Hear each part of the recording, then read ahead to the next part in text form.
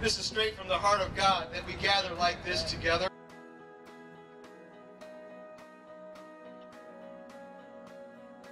Dear God, of all honor and praise.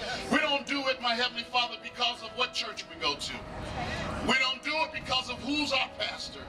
But we do it because you are our Lord, our Savior, our King. And we thank you, dear God, for the privilege of participating on the kingdom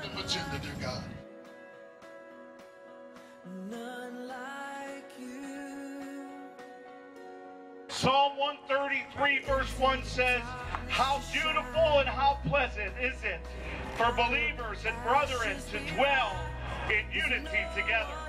Amen. We're one church tonight. We're not denominations. We are one church. Red,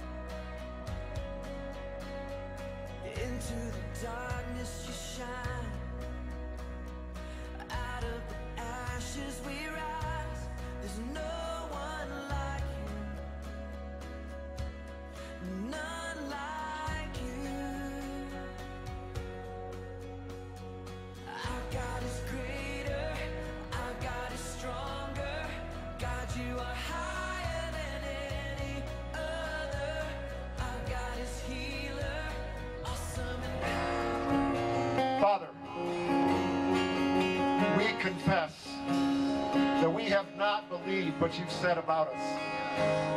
That we have failed to believe that we are the bride of Christ. We have failed to believe that we are the spotless bride.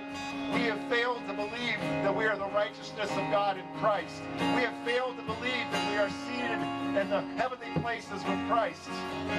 Father, we have failed to believe what you've said about your church. And as a result, we've lived timid, ineffective lives. Your church, Lord, you said that your judgment would begin with the household of God. Lord, we confess that we have not believed what you've said about us?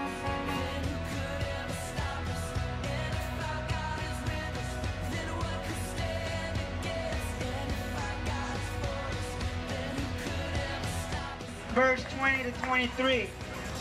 Amen. And it says, I do not pray for this alone, but also for those who will believe in me through their word, that they all may be one, as you, Father, are in me.